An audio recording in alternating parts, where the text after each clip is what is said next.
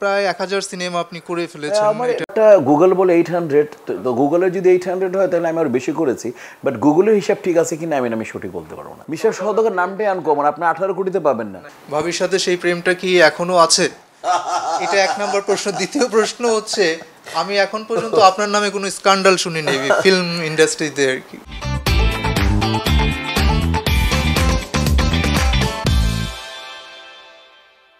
ছোটকু আহমেদ যার হাত ধরে আপনার সিনেমায় এন্ট্রি নায়ক হিসেবে। প্রথম দুইটা সিনেমা তো আপনি নায়ক হিসেবেই আপনার শুরু হয়। তো আমি যেটা বলতে চাচ্ছিলাম এই যে প্রায় এক হাজার সিনেমা আপনি করে ফেলেছেন। গুগল বলে এইট হান্ড্রেড তো গুগলের যদি এইট হান্ড্রেড হয় তাহলে আমি আরও বেশি করেছি। বাট গুগলের হিসাব ঠিক আছে কিনা আমি আমি সঠিক বলতে পারব না। আমরা ধরে নিব আপনি এটুকু বলতে পারেন যে মনে হয় বাংলাদেশে আমি সর্বাধিক ছবির অভিনেতা আর যদি আপনি মনে হয় বিশ্বে করেন তাহলে মনে হয় আমি সেকেন্ড হব কারণ ইন্ডিয়ান একজন আছেন। কখনো কি ক্লান্তি লাগছে নিজের কাছে যে এত এত এত এত ক্যারেক্টার নিজের ভিতরে ধারণ করতে? ক্লান্তি লেগেছে আসলে কাজ করতে করতে। নট ক্যারেক্টার ক্যারেক্টার অনেক করেছি। ক্যারেক্টার যেগুলো ফোকাস দেওয়ার দেখুন আমাদের যে পরম্পরা ছিল আমরা যাদের কাছ থেকে চলা হাঁটা আমরা তো একেবারে আতুর ঘরে ছিলাম। আমাদেরকে যারা যে সমস্ত ডিরেক্টর প্রডিউসার যে সমস্ত আর্টিস্টরা এবং অ্যাক্ট্রেসরা শিখিয়েছেন কাজগুলো। তো চলতে হবে, পরিবার পালতে হবে, গাড়ি মেনটেন করতে হবে, বাড়ি মেনটেন করতে হবে, নিজের নারী, বৈধ নারী মেনটেন করতে হবে সন্তান মেনটেন করতে হবে। সেটার জন্য আমরা যদি লাইক বিশটা ছবি করি, এর মধ্যে পাঁচটা ছবি করতে হবে যেটা আমাকে নেক্সট আরও কাজে দেয় এবং নাম খ্যাতে ঠিক থাকে। ওইখানে স্যাক্রিফাইসও করব। পনেরোটা ছবি আমাকে অ্যাভারেজ করতে হবে। এটা আমাদের আমাদের স্কুলিং ছিল এটা। এটা এটিএম শামসুজ্জামানও বলেছেন এটা রাজীব সাহেব আমাকে বলেছেন এটা আহমদ শরীফ সাহেব বলেছেন এটা শ্রদ্ধে হুমায়ুন ফরিদিও বলেছেন। হিসাবে আরেকটা খুব সুন্দর জিনিস আমার খুব ভালো লাগে মানে এটা প্রথম যেদিন আমি শুনলাম যে এত ক্রিয়েটিভিটি দিয়ে আপনি কাজটা করেছেন বিশেষ করে আপনার নামটা যে ভাবির নাম মিতা থেকে আপনার সাহিত্য থেকে একটু নিয়ে মিশা তৈরি করা এই ক্রিয়েটিভিটির ইয়েটা আসলো কীভাবে আসলে? আসলে ওই সময় আমরা ই না আমি এইটি টুর ম্যাট্রিক ব্যাচ তো ওই সময় প্রেম করি। আপনার ভাবি পরে নাইন লাইন শেষের দিকে আর আমি ম্যাট্রিক ক্যান্ডিডেট তখন প্রেম একেবারে উদ্বেলিত না তখন আমরা জিন্সের প্যান্ট ছিঁড়তাম এখানে। ছিঁড়ে হঠাৎ লিখলাম মিশা নিজেই লিখলাম। মিতা আপনার ভাবি না মিতা। আমার নাম তো শাহিদ। তো মিশা লিখলাম এটা। তো আপনার ভাবি বুঝতে পারছে। আর দুই চারজন আমার কাছের বন্ধু বান্ধব বুঝতে পারছে। তো ওইখানে কি ব্যাপার? আর তখন আমি মিশা নামটাই দিয়েছিলাম ফিল্মে আমরা যেহেতু ইয়ে ছিলাম এই যে ওল্ড টাউনের লোক আমরা একটু মানে তখন তো অভিনয় টভিনয় পরিবার সাপোর্ট করে কিনা দেখতে পছন্দ করে কিন্তু আমি করতেছি। আর আমার এক্সপিরিয়েন্সও ছিল না কোনো।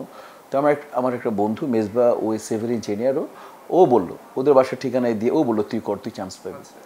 দেন আমি into এই যে এফডিসিতে নতুন এইটি সিক্সে এর আগে মান্নারা সাকসেসফুলি ছিল ওইটা মান্না সোহেল ভাই দিতি ম্যাডাম নিপম মোনালিসা আরও খালেদাপু রাশেদা ভাবি সাত্তার ভাই সুব্রত ভাই আরও অনেকে মানে এক ঝাঁক লোক আসছিল।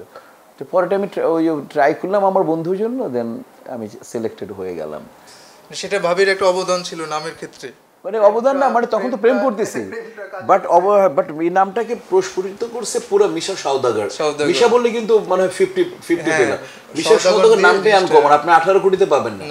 এই একটা নাম আঠারো কোটিতে আপনি পাবেন না। এটা আমি অনেক দেখেছি। আপনি দেখবেন? আপনি সার্চ করে দেখবেন আঠারো কোটিতে নাই। বা আমার হিসাবে আপনার আরেকটা জিনিস আমার দাদার দাদার টাইটেল জুমন সওদাগর। দেন আমার ভাই বলল যে ফিল্মে যখন আমি ভিলেন করতেছি ভিলেন সবাই বলল যে মিশা নামটা মিশা আহমেদ দাও মিশা ফরিদি দাও বা মিশা জামান দাও। তখন যে এটিএম শামসুল জামান ফরিদি ভাই হ্যাঁ। আহমেদ। তো আমার বড় ভাই বললেন যে নো দাদার নামটা তুমি লাগাও সওদাগর নামটা লাগাও। যদি আমার নাম কিন্তু মোহাম্মদ শাহিদ হাসান সার্টিফিকেট দেন নাম লাগালাম। তারপরে তো সবাই পছন্দ করল। পছন্দ করল। আচ্ছা যেটা বলতে চাচ্ছিলাম যে ভাবির সাথে সেই প্রেমটা কি এখনও আছে? এটা এক নম্বর প্রশ্ন। দ্বিতীয় প্রশ্ন হচ্ছে আমি এখন পর্যন্ত আপনার নামে কোনো স্ক্যান্ডাল শুনিনি ফিল্ম ইন্ডাস্ট্রিতে আর কি। এটা কি সেই প্রেমের কারণেই? আহ, এটা প্রেমের কারণেই তো। মানে আমি যে দূর থেকেও মানে আমার এই যে তিরিশ পঁয়ত্রিশ বছরের যে ক্যারিয়ারে আমার কোনো গুঞ্জন শোনা যায়নি সেটা হচ্ছে দূর থেকেও আপনার ভাবে আমাকে শাসন করতে পারতো। তার ভালোবাসা এত এত মানে ব্যাপৃত ছিল, এত সমৃদ্ধ ছিল যে আমি আউটডোরে গেলাম বাট না আমার আমি দশ বছর প্রেম করে বিয়ে করেছি এমনি আমাকে বিশ্বাস করেছেন, আমি বিশ্বাস ভঙ্গ করব না। তো এই আর আমি এমনি একটু ছোটো মোটো রিলিজিয়াস একটা মানুষ, যেমন আমরা আল্লাহর কাছে কমিটেড মানুষের কাছে কমিটেড ফ্যামিলির কাছে কমিটেড মার কাছে কমিটেড আমার যেমন আমার প্রফেশনের কাছে আমি কমিটেড তো প্রফেশনও তো আমার একটা ব্যাপার। এই প্রফেশনে আমি যদি উল্টাপুল্টা করতে আমার অনেক উল্টাপুল্টা করতে ইচ্ছা করে। স্বাভাবিক আমি মানুষ আমি, আমার অপোজিটের অপোজিট সমস্ত কিছুর কাছে আমার একটা অ্যাট্রাক্ট থাকবে।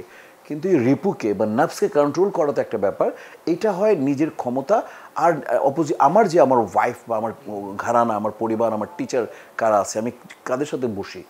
তো ওই দিক থেকে আমি আল্লাহর কাছে অনেক কৃতজ্ঞ। আমার ওয়াইফ এটা ধরে রেখেছেন।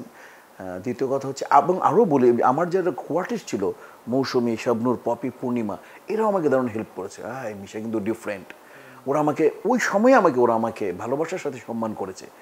এই এই জিনিসটা আমি ভুলতে পারব না। ওদের কাছে আমি কৃতজ্ঞ। এবং আমার বন্ধু বান্ধব ওমর সানি, অমিত হাসান, আমিন খান শাহিন আলম, এরা ছিল, এরাও আমাকে এই মিশার একটু আগে ছেড়ে নামাজ পড়ব নামাজ পড়ব। এই যে আমি সব দিক থেকে ডিরেক্টর প্রডিউসার সবাই আমাকে ফেভারি দিয়েছে।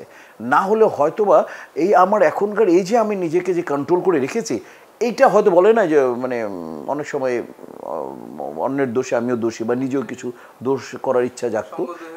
হ্যাঁ জি তো ও বাট এগুলো আমাকে আমার আমার ইন্ডাস্ট্রি আমার পরিবার আমার ফিল্মের বন্ধু বান্ধব আমার ফিল্ম পরিবারই আমাকে সেফ রেখেছে। প্রায়শই আপনাকে বিভিন্ন ইসলামিক অনুষ্ঠানে বক্তৃতা দিতে দেখি। আপনি একজন ইসলামী স্কলার হিসাবেও পরিচিত মানুষের কাছে। এই দিকটা যদি একটু বলেন। না না আমি আসলে সব অনুষ্ঠানেই যাই। মানে আমি দোকান তো ওপেন করতে যাই। আমি তো বিভিন্ন জায়গায় ফিতা কাটতে একটা পারিশ্রমিক পাই আমরা শিল্পীরা। তো শোও করি আমি। তো আমি জানি না আমাকে বাচ্চারা ধর মানে কি আমি যেহেতু একটু নামাজ পড়ি আমি আল্লাহকে খুব ভয় পাই। আমি আসলে আল্লাহর সিস্টেমটাকে ভয় পাই। যে আল্লাহর ওই ওই ওই সমস্ত দিক, যে সমস্ত দিক আল্লাহ বলেছেন, সার্বজনীন ব্যাপারগুলোকে যে হানাহানি মানামানি করা যাবে না।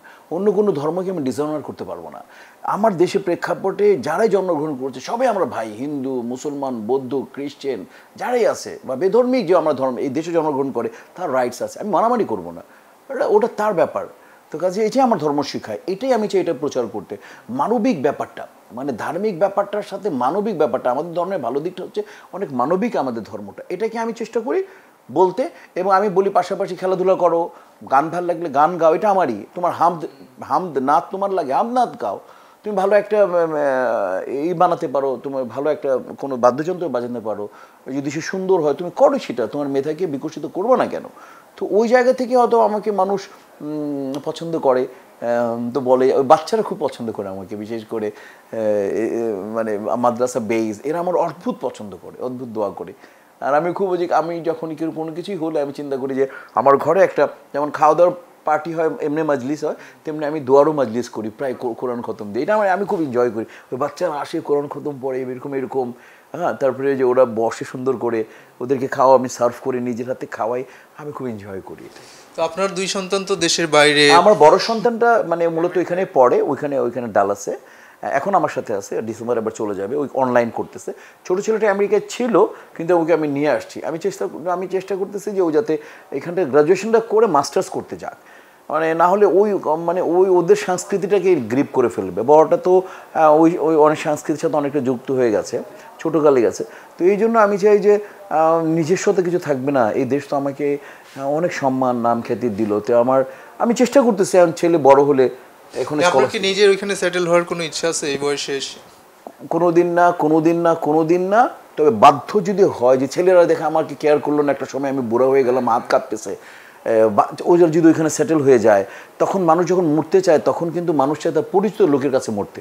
তখন হয়তো বা সন্তানের যদি বলে যে বাধ্য না হলে আমি কোনোদিন আমার যাওয়ার ইচ্ছা নেই। কোনোদিন অন্য কোনো দেশে আমি যাব না। ওটিটিতে আপনার অভিষেক বড় হল থেকে ছোট হল পর্দা বদল এই বিষয়টাকে আপনি কীভাবে এখন দেখছেন আর কীভাবে রিসিভ করছেন এই সময়টাকে? মূল বিষয়টা হচ্ছে আমি অভিনয় করব। প্ল্যাটফর্মটা হচ্ছে ওটিটি প্ল্যাটফর্ম আমি ওইরকম কোনো চেঞ্জ দেখি না। তবে ফিল্ম সাথে কারও তুলনা হবে না ফিল্ম একেবারে আলাদা। ফিল্ম আমার কাছে আকাশ। ওইটা আকাশ। আকাশের সাথে কারও তুলনা হবে ওটিটি নতুন একটা প্ল্যাটফর্ম নতুন একটা কি বলব যে গল্প বলার নতুন জায়গা এবং সবচেয়ে বড় ব্যাপারটা হচ্ছে যে এখানে শুধু নায়ক নায়িকা বেজ না আগেও বলেছি আমি এখনও বলছি এখানে গল্প বেজ যেহেতু কন্টেন্টটা হয় সেহেতু অনেকে অভিনয় করতে পারে। অনেক কথা বললাম অনেক সময় দিলেন। আপনাকে অসংখ্য ধন্যবাদ। আপনি অনেক সুন্দর সুন্দর প্রশ্ন করলেন এবং আমি মন খুলেই কথা বলেছি। আর সমস্ত দোয়া করবেন আজকে চুরকির মনে হয় কালকে আমার একটা লঞ্চ হতে যাচ্ছে।